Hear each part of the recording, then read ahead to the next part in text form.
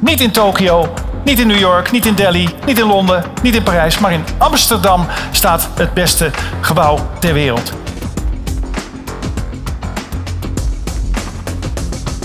Wie had de droom? Wie had het idee? Er zitten, zitten twee kanten aan. Eh, het begon met Deloitte. Die zei, we hebben een nieuw gebouw nodig in Amsterdam. En we willen een heel bijzonder gebouw maken. En we gaan proberen om een gebouw te maken wat duurzamer is dan alles wat wij ooit eerder hebben gemaakt. En misschien zelfs wel het meest duurzame gebouw ter wereld. Eh, Peter, waarom?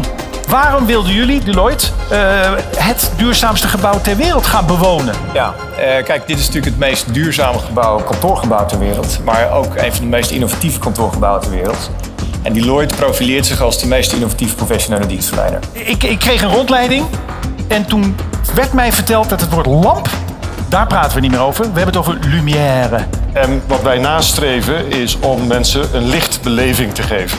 Ik merk wel dat je ook binnen ABN AMRO af en toe echt even moet duwen om te zeggen en toch gaan we die kant op, want dit is wel de toekomst. En dat gaat over geld, dat gaat over dromen, dat gaat over doen, dat gaat over lef hebben. Ja, en, en daar, ik weet niet hoe jij dat ziet, maar word ik heel blij van. En heb ik weer zin om in Nederland te zijn en dingen te doen.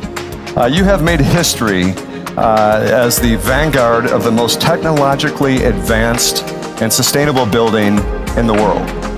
Uh, to create a model for a more connected, intelligent, and sustainable world. Ah, Mr. Dunn, there it is. There it is. There it is. So, Landing from the future. as we're in such a innovative and technologically advanced building, it would seem very unfitting just to hand over the certificate.